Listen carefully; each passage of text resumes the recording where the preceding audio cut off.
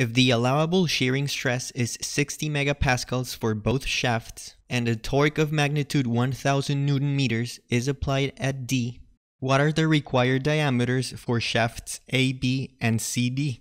This is the third example for the torsional shearing stress main video. The links to that video and other examples are found in the description below.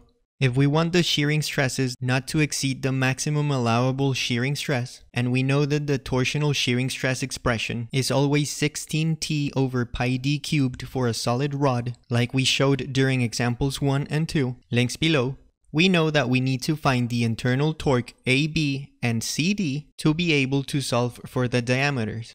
A cut between D and C, starting from D, shows us that torque DC has the same magnitude as the external torque T. The negative sign only shows that the direction of that torque is the opposite of the external torque. But like we explained in the main video, the direction or sign of the torsional shearing stresses are not yet important. From this equation, we can solve for the diameter of rod CD. To find the internal torque that AB is subjected to, we would first need to know the torque that gear C imparts on gear B. If we look at both gears from the positive x-axis, we would see that the counterclockwise external torque T exerts a force on B that points downward. The action-reaction would show us that B exerts a force on C in the opposite direction.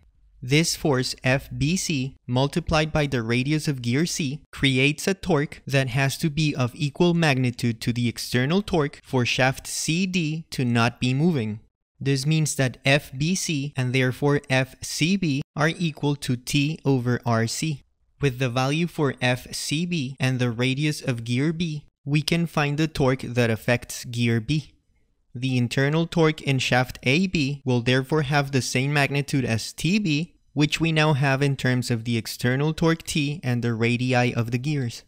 Solving for the diameter of AB and substituting the values, we find that the diameter of shaft AB should be 59.6 millimeters or larger. This analysis between gear ratios will be extremely useful when trying to perform angle of twist analyses and therefore solve statically indeterminate problems for torsion.